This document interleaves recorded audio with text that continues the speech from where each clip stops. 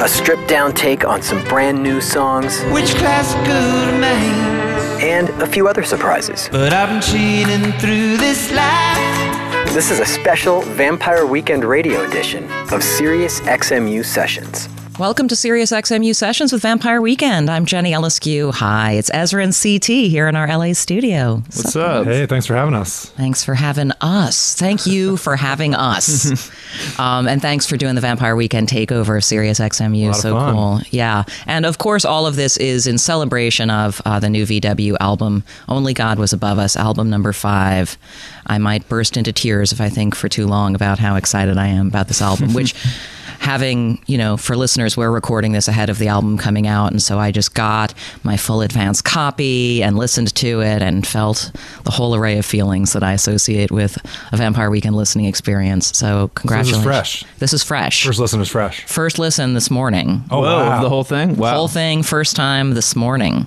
Crazy. Yeah, I love it. I mean, I have so many questions. I'll get to a few of them in the course of this time. And y'all are playing us exclusive renditions of songs from the album in a configuration that is a, special configuration for sessions such as these. It's it's um, you'll hear there's the there's the drum machine in the mix here, which is a very cool effect. With this one, we had some time to think, and we thought, all right, well, first of all, let's get uh, Amber Coffman come sing some harmonies. One of the great voices of our our time. Um, love Amber, so it's a great opportunity to sing with her. And then, yeah, just trying some like stripped down stuff. Bayo was turning on the Seeburg drum machine, which is the suicide drum machine. Oh, amazing! We're lucky we have access to high quality vintage uh, gear due to Ariel Rechtshaid, our producer. And uh, yeah, it was actually, it felt like a cool opportunity to do some different stuff.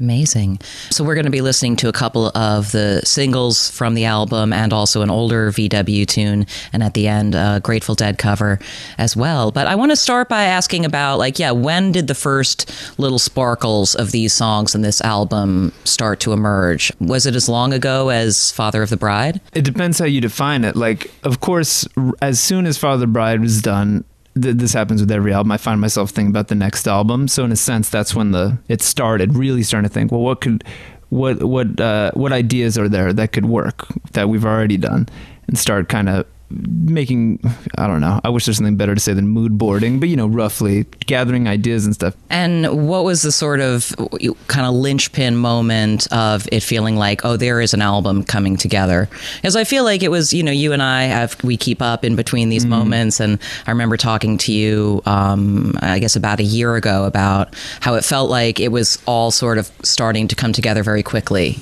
at that point? What was a sort of moment of like, or, or song from the album that began to solidify that feeling that like this is an album, these songs are all belong together? Well, you know, a, a- real kind of like bridge song that really started make uh, make me understand. Okay, I, I see where this album is heading. Is Capricorn because that was an early demo I made with Ariel. So we had you know the basic parts, uh, acoustic guitar. Maybe for some of our fans, they might associate more with uh, Father of the Bride, slightly crunchy energy. And so we started doing. it. I was like, okay, this song could be really good. And so I remember one day we made the first version of the demo. I just remember like being at home, thinking like, I, don't know, I had this instinct. I want this album to be our hardest whatever whatever that means. You know, in, in and I remember thinking like I want this song to have like a big part because it was it already felt good. It felt like like a nice song, just acoustic piano and stuff. And then it kind of came back like let's have like a big like you know like Kevin Shields type part. And then we started working on. I'll get bust out the whammy pedal, and I was kind of like, okay, I think our music can handle it. And so we never we've never used particularly used a lot of distortion. In fact, the early version of the band was very much anti-distortion, and um, that was a kind of good proof of concept to be like, okay, there is like a way in which Vampire Weekend songwriting can be mashed up with some like heavier textures and still feel like us. So that was like a big moment for me, being like, all right, I, I can feel where this is heading. That's a perfect segue on into a performance of Capricorn by Vampire Weekend on Sirius XMU Sessions.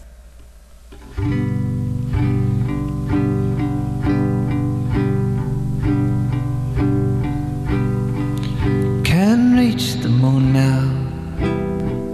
Can't turn the tide. The world looked different when God was on your side. Who bears the future? Do they know why? I know you're tired of trying. Listen clearly, you don't have to try. Capricorn, the year that you were born, finished fast, and the next one wasn't yours. Too old for dying young, too young to live alone. Sifting through centuries for moments of your own.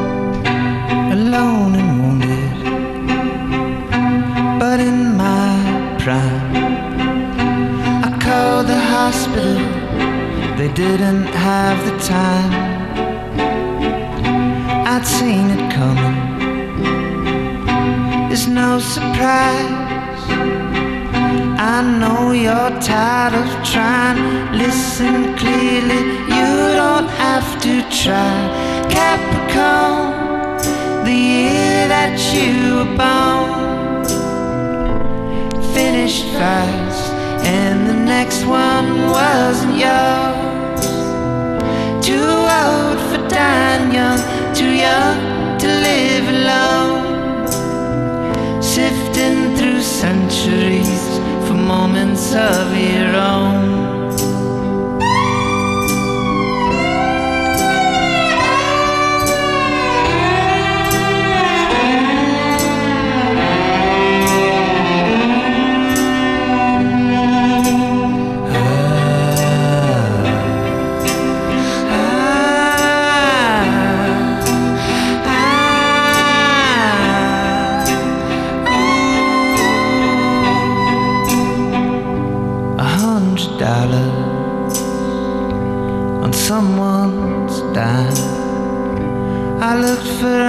that they weren't mine to find.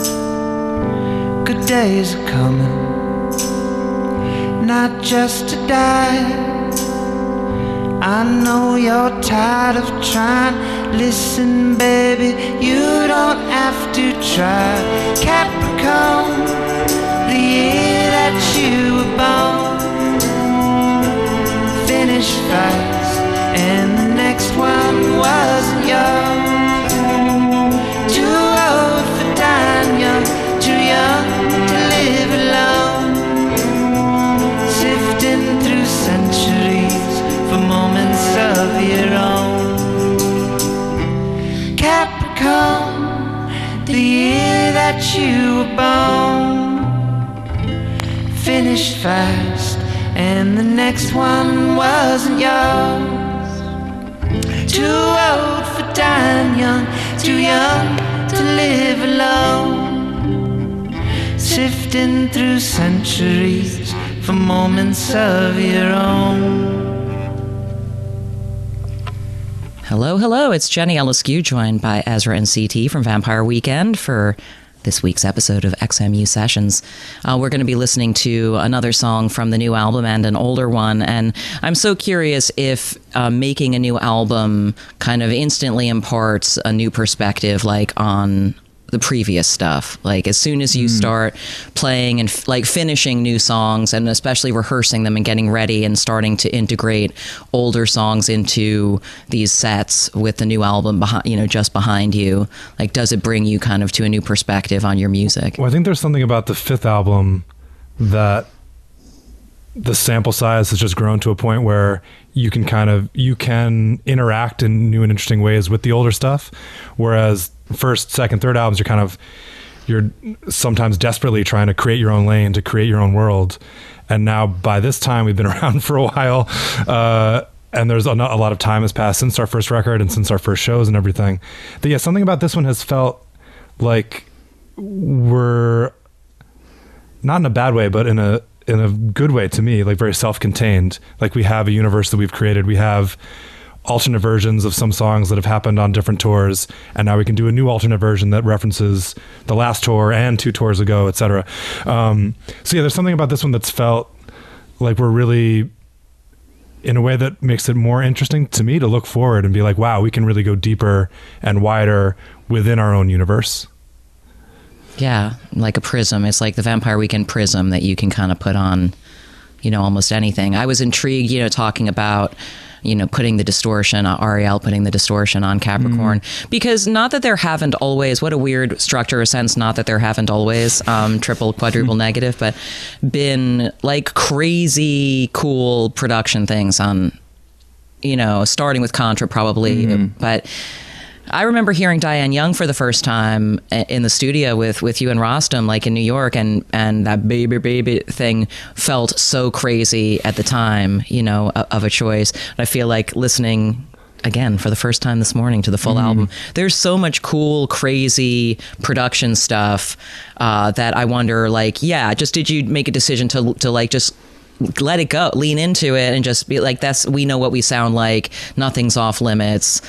Like Ariel is uh, ultimately like a member of the band, and so like go there. Well, yeah, uh, totally. I mean, with with Ariel, I always really trust his instincts, and if he wants to push something, I'm always curious as to why. I might not always agree, but I'm always like, all right, let's let's hear it. Let's let's try it, and and more often than not, I'm I like it.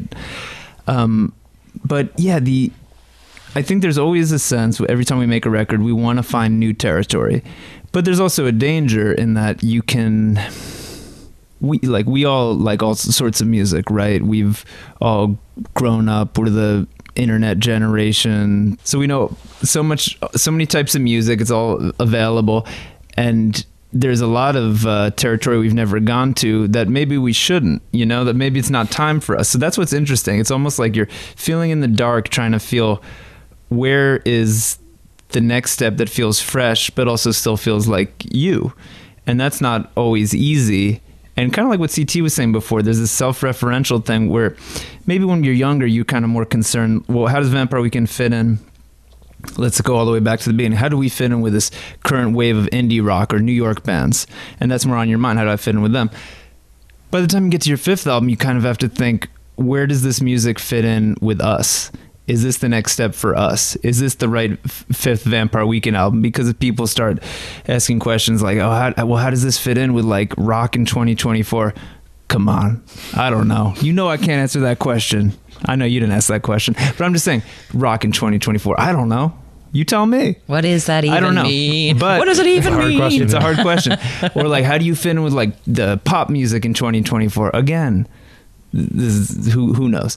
But but with this album, there's a real feeling, and this, and this at the end, and, and even throughout, try something new. Does that feel like Vampire Weekend's fifth album? And I know this sounds like it's a kind of an annoying answer. Like, what is it? If you don't know what swing is, you'll never know or something. It's all it's just a feeling like that feels like us right now. It feels right. What about that? Doesn't. I don't know why. Yeah. I mean, yeah, at a certain point, it is whatever you say it is, and your instincts are the only, you know, like the only correct ones. Yeah, I would imagine that just like with anything with like getting older, you're like, oh, I should trust my instincts. Totally. I always, one example I always think of is like, you know, diehard like punk rock dude, he might not want to have a mohawk when he's seventy. He, he might, also might. He also might. he might. Fine. He might. It's up to him. but he might not have. He might not have enough hair in the middle by then, and so he has to make a decision about the principles embodied in the music that I love and the art I love and, and, the values that I have. What does that look like when I'm 70? Maybe it looks like a mohawk. Maybe it looks like a suit and tie. Who knows? can always give your dog a mohawk. You know, give the dog a mohawk, and you you you put on a suit and tie. Exactly. Yeah. That's kind of a that's like a tangential SLC Punk reference, which I. Oh right, that. great movie. Oh snap! Fight the system from the inside. yeah, that's, yeah, that's the, essentially the, the, the big end point. Love an SLC punk reference. Also, y'all are headed to SLC, so it's all That's coming right, together. Kilby Court. Um, let's uh, let's listen to a couple more songs, and we'll come back and talk some more.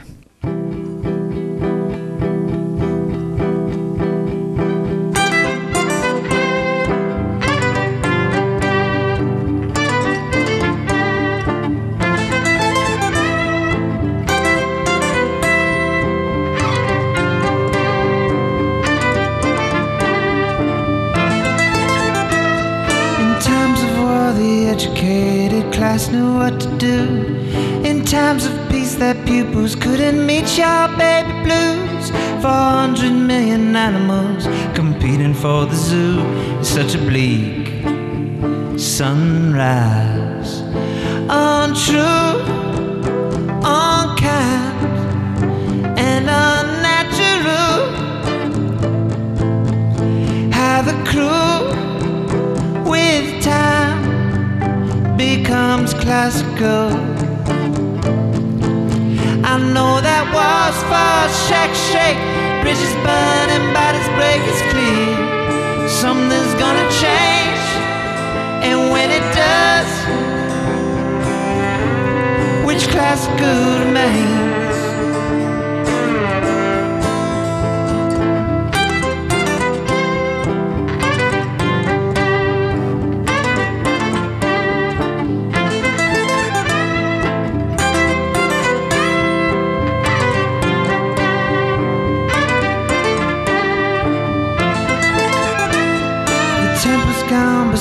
Single column stands today. That sinking feeling fades, but never really goes away. A staircase up to nothingness inside your DNA. Well, that's a bleak sunrise. Untrue, unkind, and unnatural. How the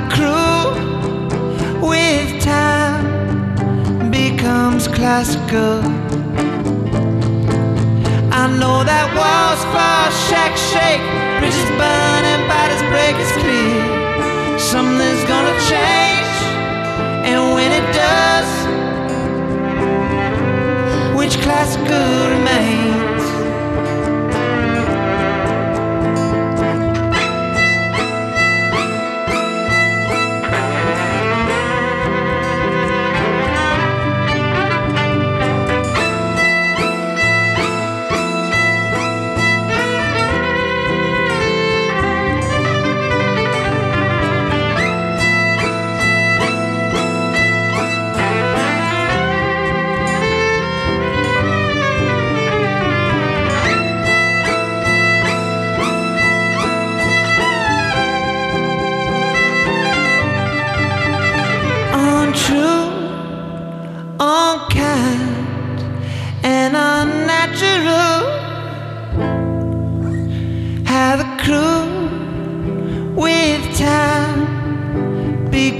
classical.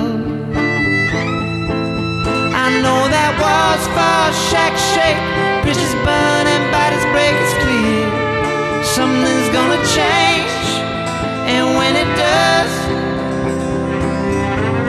which classical remains.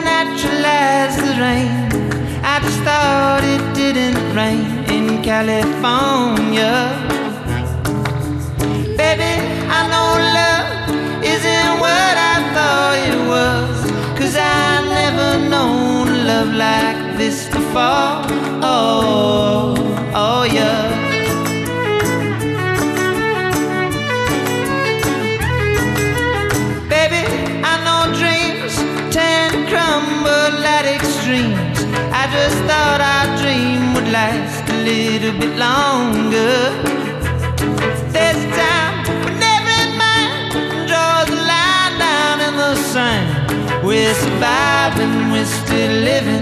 I was stronger.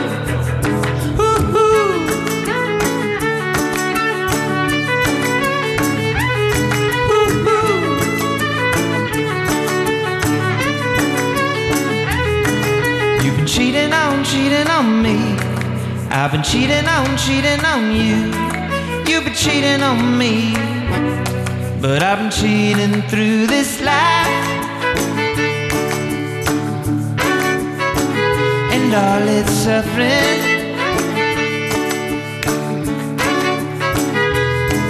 Oh, Christ.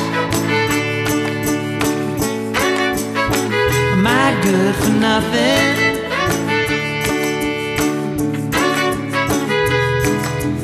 Baby, I know hate is always waiting at the gate.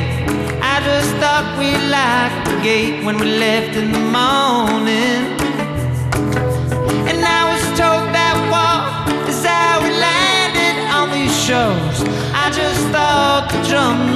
War beat louder warnings.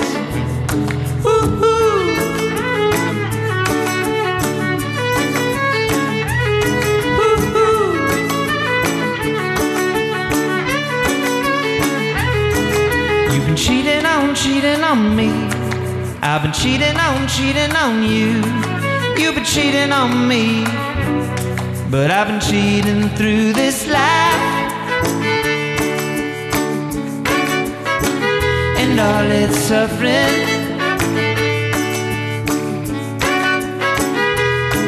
Oh, Christ. Am I good for nothing?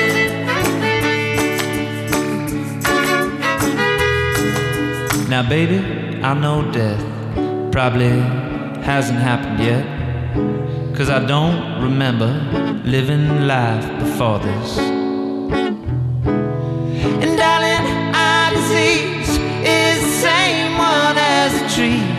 Trees, unaware that they've been living in a.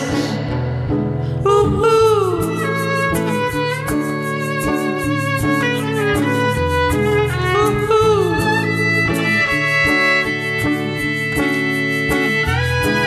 You've been cheating on, cheating on me. I've been cheating on, cheating on you. You've been cheating on me. But I've been cheating through this life. And all its suffering. Oh, Christ. Am I good for nothing?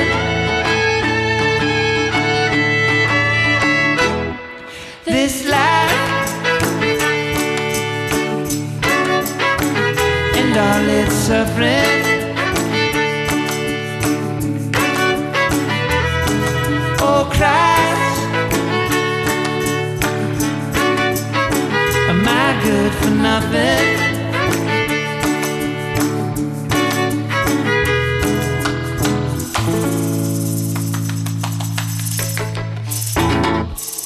It's Jenny Eliscu and Vampire Weekend on Sirius XMU Sessions. Ezra and CT are here for the chit chat part of the festivities. Bayo had a book club he had to get to. Bayo had a very say. important book club. Yeah, he right. needs to He read. didn't shirk his responsibilities, but he had let us know that this was coming for a while. we need Bayo to read so that we can get off the hook and not have to read. That's right. It balances out.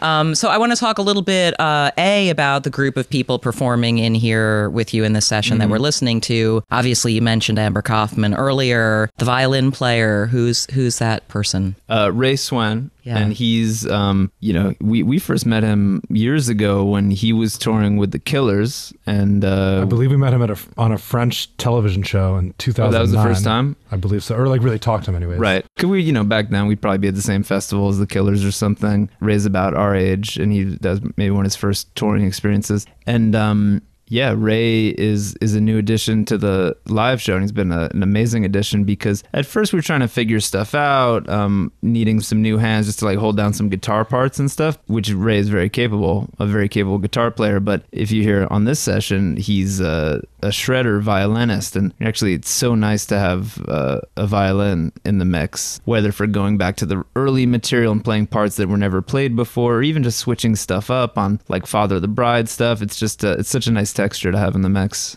So yeah, he's now a touring member of the band, and there's also is there there is someone else Uh, new. Colin. Yeah, Yeah. Colin Killaley, who again, we at first were just like, oh, do we know anybody who can play guitar? And so, oh, this guy Colin can hold it down on guitar, but also he plays sax, and having saxophone again, it totally fits a lot of our old music. And literally, there is, I mean, like on classical, there's like a big sax solo. So, like, yeah, this is so great to have um, these multi instrumentalists. So in rehearsing, I mean, I know there's a bunch of stuff coming up that's like kind of like the first burst of activity, Jazz Fest and Mm-hmm. your show during the eclipse on the 8th. But then when it's out to the headlining tour section, like is it a complete reconsideration of all of the repertoire for this new configuration of people for like what you're going to be playing on the road? I think there's a natural reconfiguration based on who's playing. Yeah. And you know, like the way Brian Jones, who played guitar with us last time, would play something is different than the way Colin would think about even phrasing or approaching a part, even if they're more or less playing the same part. And so I think that there's always a little bit of a little bit of that. And sometimes it's, it's as simple as that, it's just different people playing the same stuff. There's a different feel, a different mix. And then sometimes there's very conscious reconsiderings of like, let's say Sunflower, for example. We had a very specific, cool version for Father the Bride, and we want to keep some of that energy, but change it to fit the new mood and the new tone. So there's you know, there- it's similar but different in, in a way that to me feels like a through line. And again, like we're saying, refining us or something, or a more current version of what it feels good and right to do. Yeah, so I think that there's both there's sort of natural reconfigurings and then very conscious, like where else can we go with this song?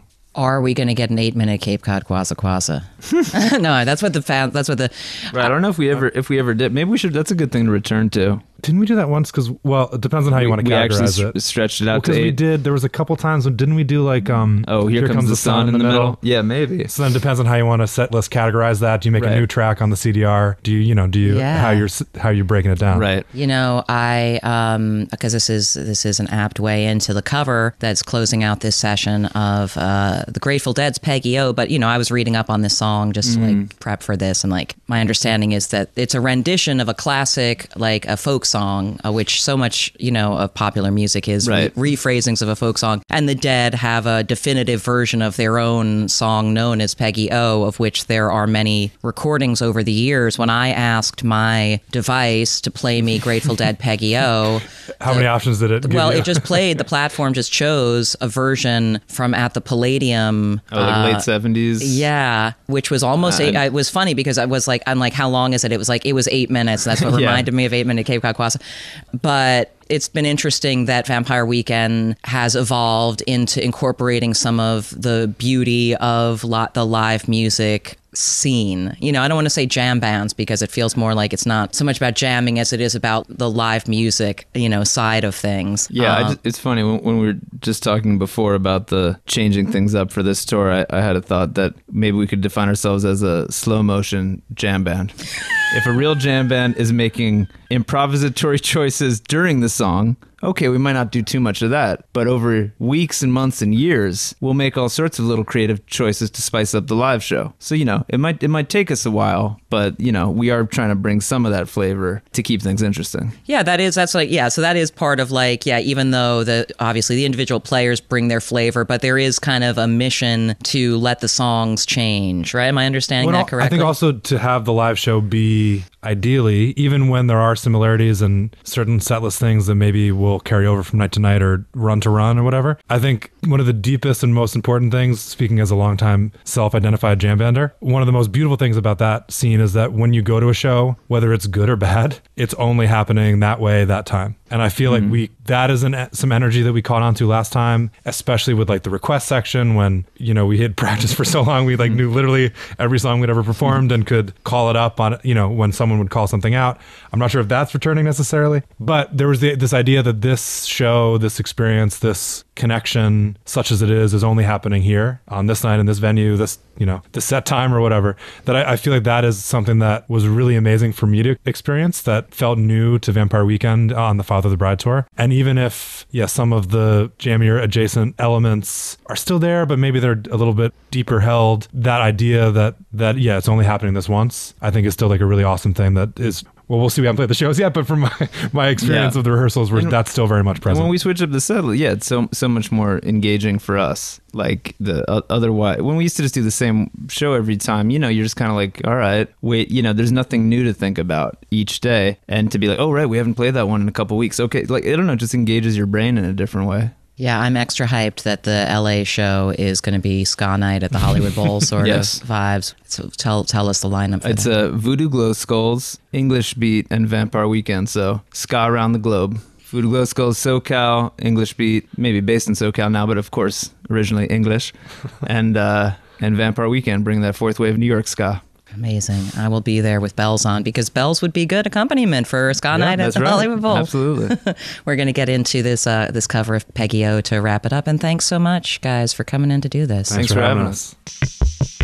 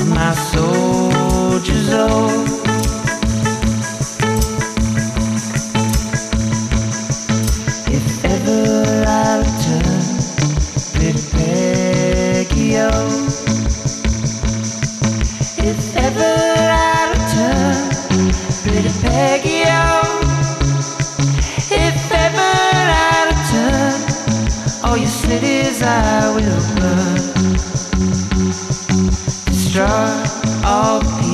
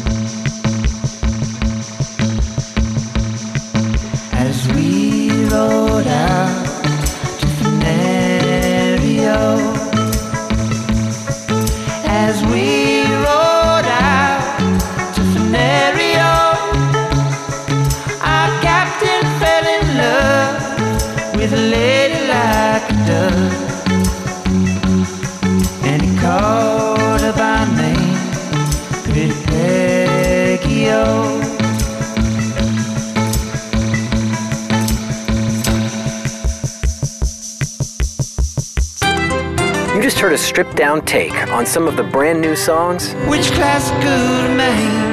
and a few other surprises. But I've been cheating through this life.